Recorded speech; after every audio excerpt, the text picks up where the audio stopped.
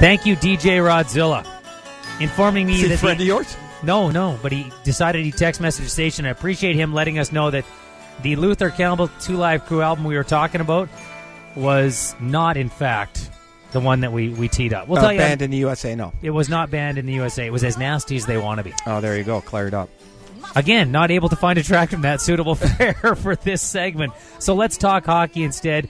Mike Gillis, general manager of the Vancouver Canucks, joins us this morning. How you doing, Mike? Doing well, Scott, and you? Can't complain. Should be a fun one.